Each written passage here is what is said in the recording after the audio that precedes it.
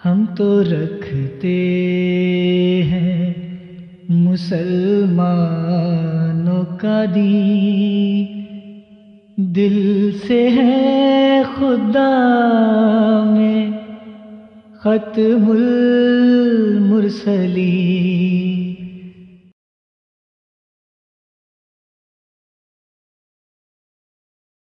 बहरहाल हमारे साथ आमर हक साहब आप आए हैं। आमर हक साहब को हम इस टीम में शामिल करते हैं। अस्सलाम वालेकुम वरकत आमर हक साहब। वालेकुम अस्सलाम हकीम साहब और टीम को मेरी तरफ़ से सलाम कैसे हैं? आप ठीक हैं?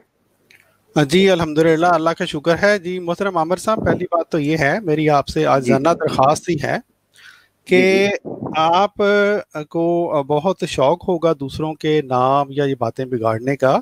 लेकिन मेरी आपसे ये दरख्वास्त है कि अच्छा नहीं लगता। आप अपने आप को मुसलमान कहला, कहलवाने का आपको शौक है। हमें इस्लामी तालीम के मुताबिक अमल करना चाहिए। अगर आपका नाम, देखें, आपका नाम आपने आमर हक लिखा हुआ है। मुझे पता है आपका असल नाम आमर हक नहीं है। ये आपका, आपने ये जाली नाम यहाँ पे लिखा हुआ है। लेकिन मैं आपको इसी नाम से बुलाता हूँ ना तो मेरा यहाँ पे आपको नाम लिखा हुआ नज़र आ रहा होगा डॉक्टर मोहम्मद याहिया।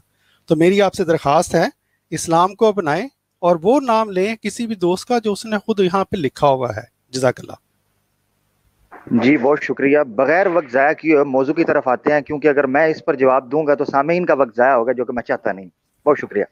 जी शुक्रिया। और मेरे मेरे ख्याल से अभी मैंने नाम बदला भी नहीं था तो मैं चाहता नहीं हूँ कि गड़े मुर्दे जो है खड़े जाए। बड़ा मौजू बहुत इंपॉर्टेंट है जिसकी तरफ़ मैं काफ़ी देर से सुन रहा था और आज घंटे का प्रोग्राम गया जी जी। आ, मगर एक चीज़ तो मैं ये कहूँगा कि जहाँ आपने कुरान की आयात से इस्तदलाल किया है मैं हल्फिया कहने को तैयार हूँ मुझे आपके इस्तदलाल की नोयत ही समझ नहीं आई। अच्छा या आपके बयान एक, एक, एक मुझे मुझे मौका दीजिएगा ना मुझे मौका दीजिएगा। जी जी मैं मेरी बात पहले सुन लें। देखिए मेरे, मेरे भाई मैं आपसे फिर दोबारा आजाना तौर पर अर्ज़ कर रहा हूँ। हमने ये जो प्रोग्राम है ये सिर्फ़ आमर हक साहब के लिए नहीं किया ठीक है? आपको पता है हाँ। जो मेरी मेरी बात सुन ले पहले मेरे भाई। अगर आपको समझ नहीं आई तो हमारी आपसे दरखास्त है कि आप इस प्रोग्राम को दोबारा सुन लीजिएगा। अगर ना समझ आए तो कोई बात नहीं हमारे देखें प्रो अपना मौकफ बयान करना हमारे जिम्मा है। समझाना ना समझाना ये आपके और खुदा के दरमियान है। ठीक है मेरे भाई? तो इस आपका कोई सवाल है तो पेश करें। बहुत शुक्रिया। आ, मेरे ख्याल से मुझे अपनी राय देने का हक था वो मैंने दे दिया है मैं दोबारा भी देख लूँगा आपके सरार पर नो प्रॉब्लम जी जी जी ठीक है। तो बहरहाल अब मुझे नहीं पता अब सामीन में से किनको समझ आइए किनको नहीं बहरहाल मैं दोबारा देख लूँगा। वो अल्लाह आप अपना सवाल पेश करें मेरे भाई। जी। बहुत बहुत बहुत शुक्रिया। यहाँ पर जो मरकजी या उसूली नोयत का जो मौजू रहा है वो रहा है इस्तेआरा इस्तेआरा। और इस पर काफ़ी जो है वो एक गुम गुमैया और सारी गुफ्तगु हुई है। सलीम मीर साहब ने कहा कि जनाब, ये जहल अवाम है, इनको पता नहीं है। त्यारा किसे कहते हैं, मैं मैं जानना ये चाहता हूँ कि सलीम मीर साहब पहले एक मेरा सबसे पहला सवाल ये है कि इस्तारा और मुशाहबत, ये जो तशबी है इस्तारा और तशबी इन दोनों में फ़र्क है या नहीं? और ये किस कैटेगरी से हैं? इनकी तारीफ़ क्या है? क्योंकि जो तारीफ़ इन्होंने की है, इंतहाई गलत है।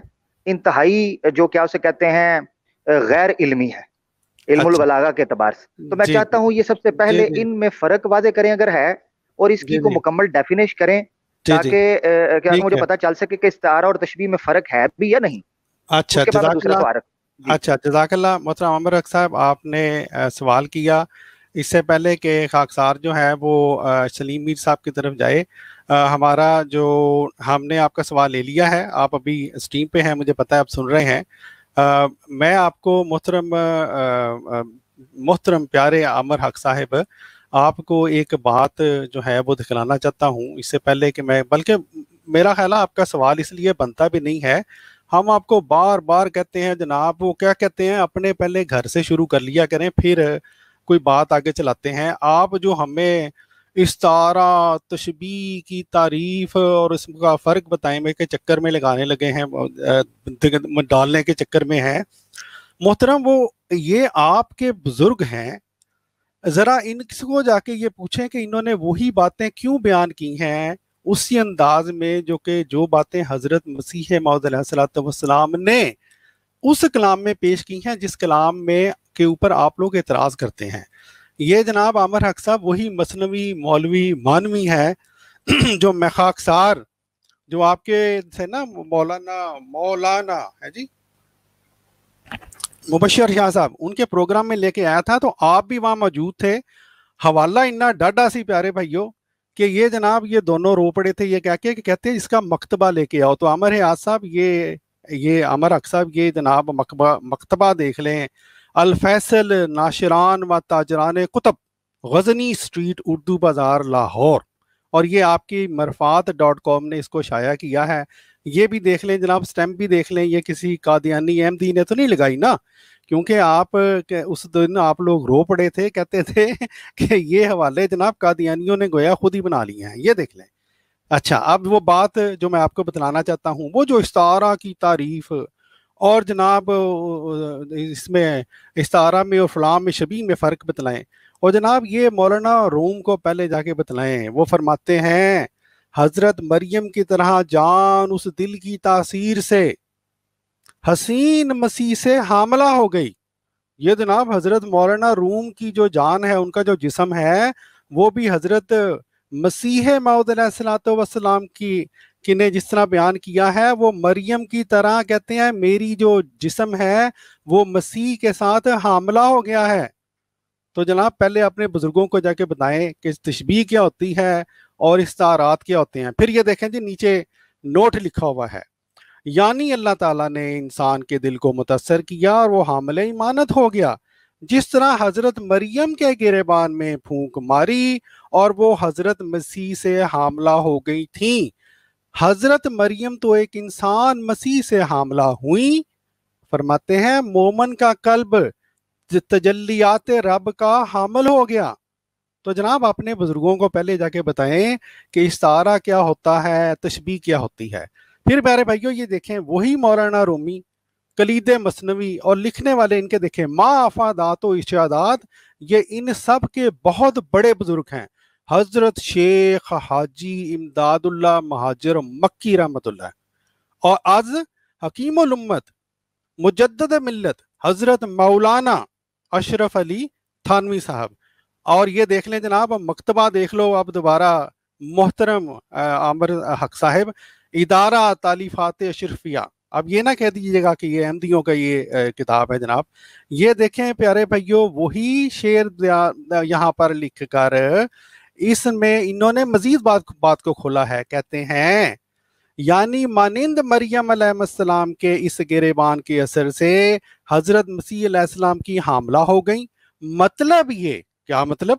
कि जिस तरह हज़रत मरियम सलाम के गिरेबान में उस रूह के फूकने से ये असर हुआ, यानी अल्लाह ताला के फूकने से ये असर हुआ कि उनके पेट में हज़रत ईसा जैसे नबी थे, रह गए और वो उनकी हमला हो गई। इसी तरह, कह रहे उस तरह हक ताला की तजल्ली जब कल्ब पर होती है, यानी हर नेक बंदे पर तो उससे वो कल्ब मुनवर हो जाता है और मुस्तफीद होता है।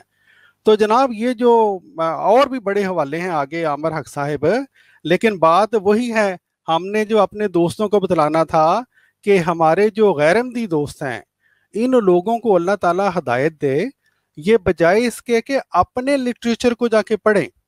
वहाँ पे जाके ये बात फिर डालें ना मौलाना रोम के ऊपर कि ये इशारा और तशबी में फ़र्क क्या होता है और आपने इस्तेमाल क्यों किया है? हमारा ये जो मौजू है, हमने आपको ये बतलाया कि इस्तारतन ऐसी बातें इस्तेमाल हुई हैं इस्लामी लिटरेचर में, दूसरे लिटरेचर में। आपको क्या इस बात के ऊपर एतराज़ है आमर हक साहब? आमर हक साहब, मुझे लगता है कि वो, उन्होंने देखा है कि हालात ख़राब हो गए हैं तो नीचे पाके निकल गए हैं। बहरहाल, हम अपने साथ प्यारे भाइयों मेरा नहीं ख्याल इनका सवाल भी कोई इस काबल था कि इसका जवाब दिया जाए। देखें, वो कहते हैं ना, पहले अपनी मंजी थले डंडा डंडा फेरो, हैं जी? और अपने बुज़ुर्गों के हवाला जात देख लें मोहतरम, फिर आके एतराज़ कीजिएगा। बहरहाल किसी दोस्त ने अगर कोई बात करनी है तो ठीक है वरना हम अगले दोस्त को लेते हैं। जवाब चूँकि उन्होंने मुझे मुखातब किया था मुख्तर नहीं मैं जवाब दूँगा क्योंकि वो डॉक्टर साहब ने अच्छी तरह तसली करा दी है। लेकिन मुझे लगता है कि उनकी तवज्जो जवाब सुनने की तरफ़ नहीं थी। शायद वो मुठभेड़ की चक्कर में थे क्योंकि टेक्स्ट वो मुसलसल लिख रहे थे हालाँकि आप बात समझा रहे हैं उनको वजाहत कर रहे हैं तो अगर वो सुनने की नीयत में होते तो बात पर तवज्जो देते कि आप क्या समझाने की कोशिश कर हाँ रहे हैं। हाँ दूसरी बात यह है कि इन्होंने कहा जी मैंने इस्तारा की बिल्कुल ही गलत तारीफ़ की है। तो उसमें अर्ज़ ये है कि अगर तो पहले इन्होंने कहा जी मैंने कहा अक्सर अवाम जाहिल है कामिलम है इसलिए उनको इन बातों का नहीं पता होता। इसका उन्होंने इनकार नहीं किया। वो कर भी नहीं सकते क्योंकि अक्सर अवाम पाकिस्तान में ऑफिशियली जाहिल है। यानी वो बिल्कुल जिसको कहते हैं ना चिट्टा अनपढ़ वो चिट्टी अनपढ़ है और जो पढ़े लिखे हैं उनको भी हम जानते हैं कि वो कितने पढ़े लिखे हैं। मैं किताब का नाम बता देता हूँ। अगर मक, मकतबा कहें तो मकतबा भी बता दूँगा इनके पहुँचा भी दूँगा जहाँ ये कहेंगे वो किताब का नाम है आसान उसूल फिका। लिखी हुई है मौलवी मोहम्मद मोहुद्दीन की। मकतबातुल बुशरा कराची पाकिस्तान। इशात वगैरह पूछें वो भी बता दूँगा। उसमें है किताबुल्लाह के बयान में। चैप्टर का क्या नाम है? अल्लाह की किताब यानी कुरान को समझना कैसे है उसके असूलों वो बता रहे हैं। उसमें है इस्तारा का बयान सफ़ा नंबर है सिक्सटी नाइन। उस पर इस्तारा के बयान के नीचे वो तारीफ़ लिखी हुई है जो मैंने पढ़कर सुनाई है। अगर आपको वो गलत लगती है तो उनके खिलाफ अदालत में केस कर दें एक बात। दूसरी बात आपने अगर वाकई आप अपने आप को बहुत बड़ा अहले इलम समझते हैं और आप मुझे गलत साबित करने आए थे तो आप भी किसी किताब का नाम लेते इस तारा की कोई तारीफ़ पढ़ के हमें सुनाते जो आपकी नज़र में दुरुस्त थी वो तो आपने ना किया। मैंने आपको किताब का नाम बता दिया है मकतबा बता दिया है इसकी और भी बंदे की तस्वीर कहेंगे वो भी आपको भेज दूँगा जिसने लिखी है। तो अर्ज़ ये है कि वो दोबारा पढ़ने की ज़रूरत नहीं वो वीडियो में पीछे वो तारीफ़ मौजूद है। उस पर जो भी आपको एतराज़ है वो आप वो मुबशर हुसैन के प्रोग्राम में बेशक पढ़ के सुना दें। अभी यहाँ से तो आप किसी वजह से छोड़ गए हैं मैदान। जी, जी, जी, ये मैंने आपको बता दिया है। आगे मजीद गुफ्तु जजाकल्ला जजा। जरी साहब, भाई आपने कुछ कहना था या मैं लूँ? अमर अमर नजीर साहब हमारे पास मौजूद हैं। जी, डॉक्टर साहब, मैं एक बात कहना चाहूँगा। एक तो उन्होंने ये इस्तारा की तारीख पूछी है, वो सलीम मीर साहब ने मकतबा भी बता दिया और पूरी मुकम्मल बता दिया लेकिन उसके बावजूद मैं यहाँ पे ये बता देता हूँ कि इस्तारे की तशरी में इन्होंने ये पूछा है कि इस्तारा और तशबी इन दोनों में, लफज क्या दोनों एक जैसी हैं। इसका मैं इनको मुख्तर बता देता हूँ कि इल्म बयान की असलाह में हकीकी और मजाजी मानों के दरमियान तशबी का इलाका होना यानी हकीकी मानी का लिबास आरियत लेकर मजाजी मानों को पहनाना। मसलन नरगस कहकर आँख मुराद लेना इस तारा और तशबी में यह फ़र्क है कि इस तारा तशबी से ज़्यादा बलीग होता है। तशबी में एक चीज़ को दूसरी जैसा करार दिया जाता है। ये एक मैंने इनको बताया उसके बाद फिर मैं इनको इन्हीं की वेबसाइट पे जो खतमनबूत की वेबसाइट है खतमनबूत टाइम्स की मुफ्ती मुबशर साहब की वेबसाइट है उसमें उन्होंने इस तारा की हेडिंग दी हुई है। तो इस तारा की हेडिंग देने के बाद वो ये लिखते हैं कि उर्दू लुगत में इस्तारा के मानी आर्जी तौर पर मांग लेना मुस्तार लेना आर्यतन मांगना उधार मांगना किसी चीज़ का आर्यतन लेना है। इल्म बयान की में एक शय को बैन ही दूसरे शय करार दे दिया जाए और उस दूसरी शय के लवाजमात पहली शय से मंसूब कर दिए जाए। इसे इस्तारा कहते हैं इस्तारा मजाज की एक किस्म है जिसमें एक लफ्ज को मानवी मुनासबत की वजह से दूसरे की जगह इस्तेमाल किया जाता है। यानी किसी लफ्ज को मुख्तलिफ़ माने में इस्तेमाल करने के लिए उधार देना इस्तारा में हकीकी और मजाजी माने में तशबी का ताल्लुक पाया जाता है। लेकिन हरफ तशबी मौजूद नहीं होता। ये डॉक्टर होगी इस सारे की तशरी जो कि हमारे डॉक्टर ने ये कहा था कि इस सारे की तशरी बता दें और तशबी का बता दें। मैं यहाँ पे एक पॉइंट बयान करना चाहता हूँ जो ये मरमी हालत पर जो एतराज़ करते हैं मैं इस एतराज़ का एक इख्तसार से ऐसा जवाब दूँगा जो इन इनके लिए चंगी बड़ी तशफ़ी का काम करेगा। क्योंकि हमने तकरीबन एक घंटा बीस मिनट पे हम बड़ी लंबी तफसील से इस तारा की तशरी इस तारा के मफहूम बाकी बुज़ुर्गों ने उम्मत की जो तजरात है वो पेश की हैं।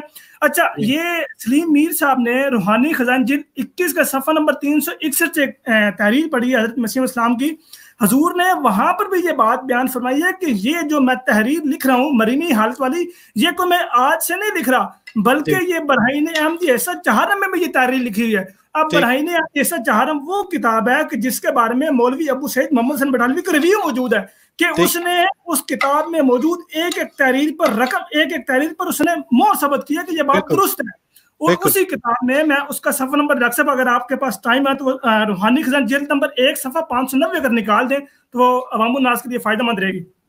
उसमें हजूर ये बात बयान फरमाते हैं रूहानी खजान जेल नंबर एक है सफ़ा नंबर इसका पाँच सौ नब्बे है इसका हाशिया दर हाशिया है। हजूर ये बात बयान फरमाते हैं कि या आदम मुस्कुन अंता वजौजुकल जन्नता या मरियम मुस्कुन अंता वजौजुकल जन्नता या अहमद उसकुन अंता वजौजुकल जन्नता उसके बाद फिर पाँच सौ इक्यानवे पर इसका जो बकी आशय है उसमें फरमा रहे हैं नफखत फ़ी का मिन लदुन रूह सिरका यानी उसका तर्जमा भी हजूर लिख रहे हैं कि ए आदम ए मरियम अहमद तू और जो शख्स तेरे ताबे और रफीक है जन्नत में यानी निजात हकीकी के वसाइल में दाखिल हो जाओ। मैंने अपनी तरफ़ से सच्चाई की रूह तुझ में फूंक दी है। इस आयत में भी रूहानी आदम का वजह तस्मीया बयान किया गया जैसा कि हज़रत आदम सलाम की पैदाइश बिला तवसत असबाब है। ऐसा ही रूहानी आदम में बिला तवसत असबाब जाहिरिया ये नफके रूह है। और ये नफक रूह हकीकी तौर पर अम्बिया सलाम से खास है। और फिर बतौर तबीयत और वरासत के बाद अफराद खासा उम्मत मोहम्मदिया को ये नेमत अता की जाती है। इसमें हजूर ये बात बयान फरमाते हैं कि ये जो खासियत है ये जो खासा है ये वरासती तौर पर नबी वसल्लम की उम्मत को भी ये खासा नेमत के तौर पर अता किया जा रहा है। और इन कलमात में भी जिस कदर पेश गोइयाँ हैं वो ज़ाहिर हैं। अब यहाँ पे हजूर ने बड़ी तफसील से ये बात बयान फरमा दी है और ये वो किताब है कि जो देवबंदी ये जो वहाबियों ने इस किताब पर तस्दीक तस्दीक की है कि ये किताब बिल्कुल दुरुस्त है और इस किताब में हजूर ने मरीमी हालत की ही बात बयान की है। लेकिन उस वक्त चूँकि हजूर ने नबील्ला का दावा नहीं किया था उस वक्त चूँकि हजूर ने ईसा वसलाम की वफात का इकरार नहीं किया था उस वक्त ये रवायत ये तहरीर दुरुस्त थी। लेकिन जब उनके अकीदे के खिलाफ बात की तो ये रवायत भी काबिल एतराज़ होगी जो कि उन्होंने कश्ती नूर पर एतराज़ कर दिया जजाकल्ला जी जजाकमल्ला तला जजा हमारे दोस्तों ने इसका जवाब सुन लिया। बहुत बहुत शुक्रिया।